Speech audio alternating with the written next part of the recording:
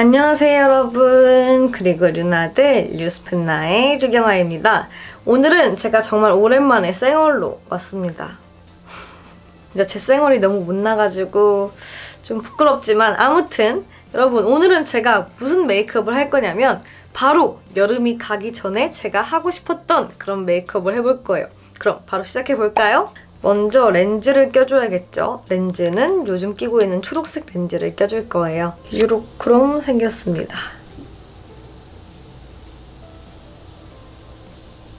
자 이렇게 렌즈를 껴줬으면 선크림 이 선크림은 제가 계속 쓰고 있는 그 아이템인데 이거는 제가 올리브영 가서 제일 촉촉한 걸로 달라고 해가지고 구매한 다음에 쓰고 있는 아이인데요. 다시 사러 가야겠어요. 저는 여름이라도 선크림은 무조건 촉촉한 거를 쓰는 타입이에요.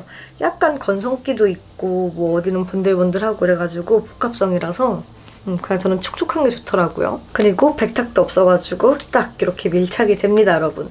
그리고 다음은 이 파운데이션도 제가 계속 사용하고 있는 아이템이에요. 저는 사실 하나 쓰면 다 쓸 때까지 쓰는 편이거든요.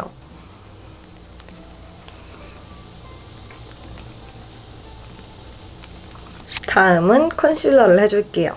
제가 막 피부에 뭐가 나거나 한 건 없는데 이렇게 약간 제가 신경 쓰이는 좀 그림자진 부분들이 있어가지고 그거를 컨실러로 가려주는 편이에요.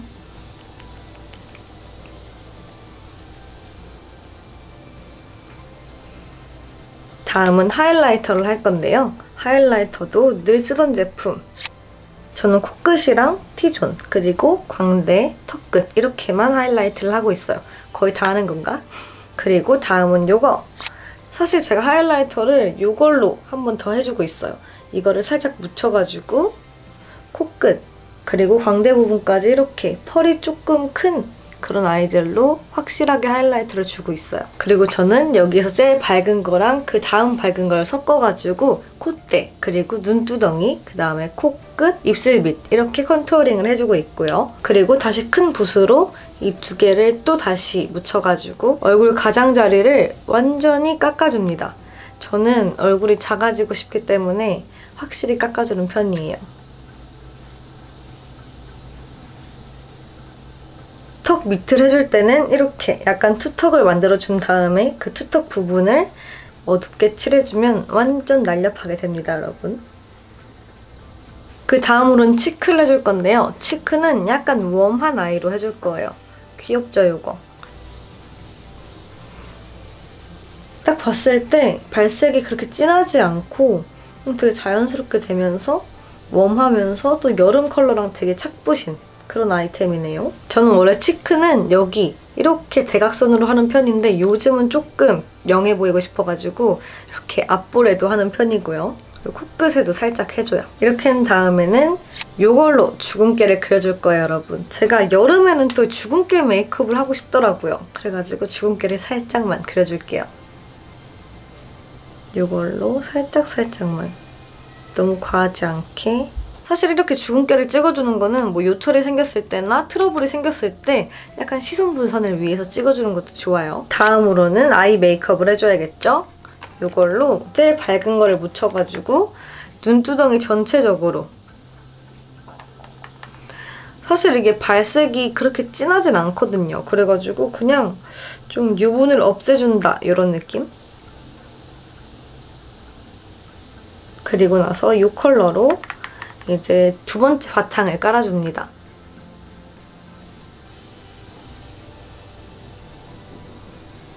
그리고 약간 이 cheek 컬러랑 맞게 warm한 컬러로 하기 위해서 이걸 준비해왔어요. 이거는 제가 류나분한테 생일 선물로 받은 거예요. 여기에 이 peach 컬러가 너무 예쁘더라고요. 그래가지고 peach 컬러를 묻혀서 한번 써볼게요. peach 컬러를 눈 끝에다가 이렇게 발라줄게요. 음, 근데 생각보다 자연스러운 것 같아요, 여러분. 그래서 좀 더 진한 발색을 원하면 확 팍팍 묻혀줘야 될 것 같은 그런 아이예요.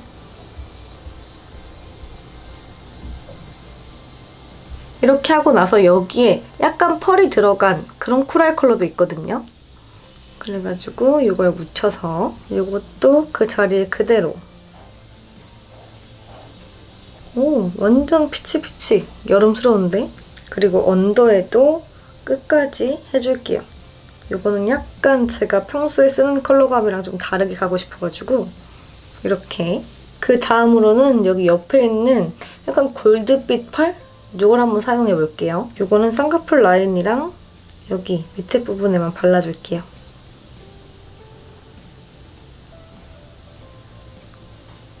이렇게 하고 나서 이 갈색, 이 브라운 컬러를 묻혀가지고 쌍꺼풀 라인에만 또 발라줄 거예요.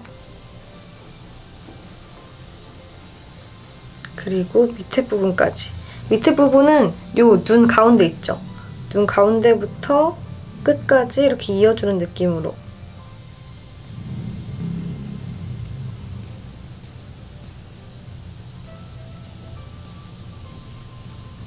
이렇게 한 다음 요거 요 스틱 섀도우로 그냥 포인트만 살짝 줄 거예요. 눈 밑에 가운데라든지 그리고 눈 앞머리 이런 데 하기 되게 편하더라고요, 이게. 그리고 눈 가운데 살짝 이렇게 한 다음 제 화장의 하이라이트 요즘 이걸 진짜 많이 쓰고 있어요. 원래 예전에도 많이 쓰긴 했는데 한동안 펄을 안 쓰다가 여름이라 그런지 뭔가 펄이 좀 땡기는 거예요. 근데 아마 가을까지 쓸 것 같긴 하지만 아무튼 요거를 눈 가운데 부분부터 앞에까지 그리고 눈두덩이 가운데 부분에도 이렇게 발라줬습니다. 어떤가요? 완전 블링블링해졌죠? 그리고 아이라인을 그리기 전에 뷰러를 한번 해줄게요. 이 뷰러는 제 메이크업 때 늘 나오는 단골 손님이죠. 사실 거의 다 단골 손님이긴 한데 이것도 올리브영에서 휴대도 간편하고 사용도 간편하다고 해가지고 구매를 한 거고요. 이게 동양인 눈매에 좀 잘 맞게 그렇게 설계가 돼 있대요. 그래서 그런지 뷰러 할 때 찝히지도 않고 좋아요. 이렇게 해주고 아이라인은 이걸 사용합니다. 오늘은 살짝 눈꼬리를 올리고 싶어요.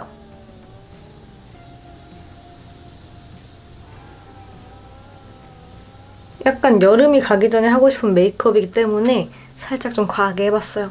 그리고 아래에 페이크 속눈썹을 살짝만 그리고 반대편도 마찬가지로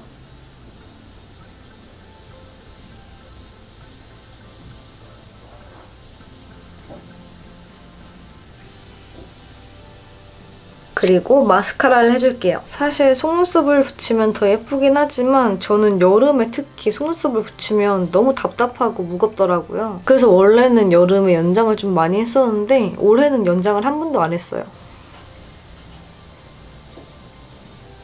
그리고 under까지 살짝만 해줄게요. 사실 under 속눈썹이 많은 분들은 살짝만 해도 완전 티가 나지만 저는 살짝 하면 완전 티가 안 나거든요. 그래가지고 fake 속눈썹을 그린 것도 있고 자 그리고 눈썹! 눈썹은 이렇게 두 가지를 사용할 거예요. 이거는 마스카라고 이거는 eyebrow예요. 먼저 결을 이렇게 빗어주고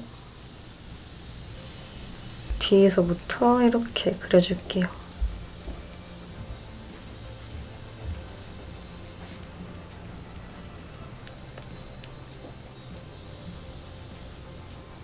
이렇게 그린 다음에는 한 번씩 빗어줘야 좀 더 연해지더라고요. 저는 눈썹이 좀 연한 걸 좋아하기 때문에 한 번 빗어주고 눈썹 마스카라까지 하면 완성입니다.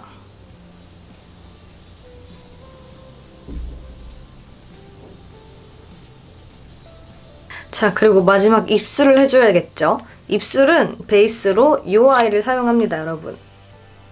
이 친구도 거의 다 썼어요. 보이시나요? 이것도 이제 바꿀 때가 되었는데 아무튼 저는 모든 립의 베이스는 이걸 쓰고 있어요 요즘. 이렇게 하고 손으로 블렌딩을 해줄게요. 이 컬러감은 이렇게 그냥 되게 자연스럽죠? 그래서 진짜 베이스로 하기 좋아요. 이렇게 한 다음에는 짠! 이건 제가 요즘 가끔 쓰고 있는 립인데요. 계속 이걸 쓸 것 같아요. 이게 되게 밝은 컬러라서 좋더라고요 여름이니까 탁한 컬러감보다는 이렇게 되게 밝은 컬러감이죠. 이걸 해주고 또 손으로 블렌딩을 해줄게요. 그리고 저는 lip line보다 살짝 위로 그리고 마지막이에요. 마지막은 짜잔 이걸로 립 안쪽을 또 어둡게 칠해줍니다.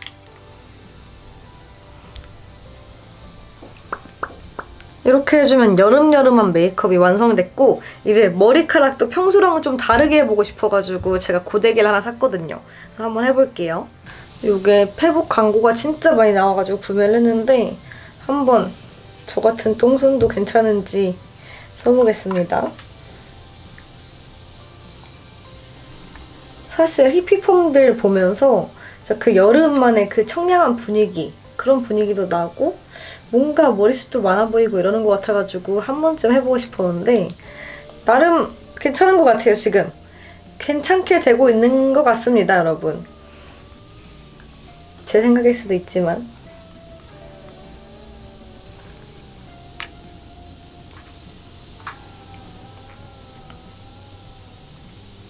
일단은 여기까지 다 하고 여러분들께 완성본을 보여드릴게요.